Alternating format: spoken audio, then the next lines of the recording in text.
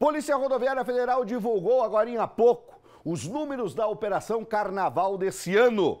Alexandre Carlos Madoglio, diretamente da redação. O que, que você tem para contar para a gente sobre isso? Boa tarde, bem-vindo no Balanço. Oi, Prado. Boa tarde para você e a todos acompanhando o Balanço Geral. Pois é, foram seis dias de fiscalização. A operação começou na sexta-feira e terminou ontem. Operação realizada em todo o estado pela Polícia Rodoviária Federal. Comparando com o ano passado, a Polícia Rodoviária Federal registrou aumento no número de acidentes com feridos e também de acidentes com mortes. Agora na tela os números dos acidentes da Operação Carnaval 2024. Foram 167, 192 pessoas ficaram feridas e infelizmente oito pessoas perderam a vida.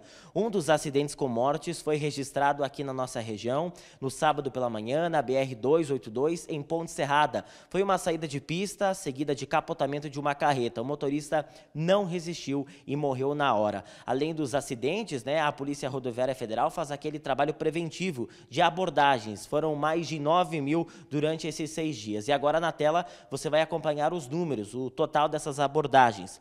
Para você ter uma noção das infrações, motorista dirigindo sob o efeito de álcool, 246, ultrapassando em local proibido, 332, dirigindo, mexendo no celular, 72, motoristas ou passageiros sem o cinto de segurança, 387. As crianças, né, que é obrigatório o uso de cadeirinha, 65 crianças foram flagradas sem o uso da cadeirinha e veículos acima de velocidade 499. Prado, esses são os números, chama mais uma vez a atenção, principalmente o dado dos motoristas que recusam o teste do bafômetro ou aqueles que fazem o teste do bafômetro e também os motoristas que dirigem sem o cinto de segurança, que é o item obrigatório. Quase 400 200 motoristas flagrados em apenas seis dias de fiscalização nas rodovias federais que cortam o estado de Santa Catarina. Eu volto ao estúdio.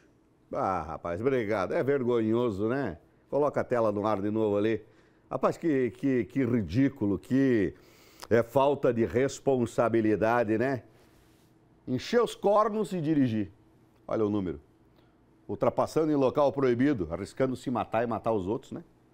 Manuseando o celular, o que, que tinha de tão grave no celular que tem que dirigir manuseando o celular? Essa aqui é uma das desgraças da atualidade, né? Uma das desgraças da atualidade. Motorista sem cinto de segurança, cinto para quê? A gente põe o cinto para proteger o polícia, né? Não é para proteger ninguém. Então, para que cinto, né? Criança, que é responsabilidade de quem? Do adulto? Jogada dentro do carro sem cadeirinho. Ah, fica como quiser. Dá uma batida primeiro que passa pelo para-brisa é criança. Seja ele o dianteiro ou o traseiro, né? 65. Tender velocidade para quê? Pois eu sou o bagual do volante, né? Eu sou o as do volante, meto-lhe o ferro no, no acelerador e ando quanto eu quero. Quase 500 casos. Dos abordados. Tu imagina a quantidade disso aqui se for colocado e todos que estavam neste tipo de infração, aonde iam parar esses números aqui? Toda vez a mesma coisa, toda vez a mesma história, tira que já me deu nojo.